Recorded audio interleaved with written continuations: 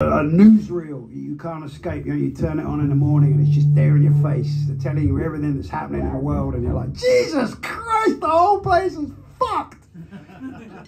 All right, so that's what we're doing.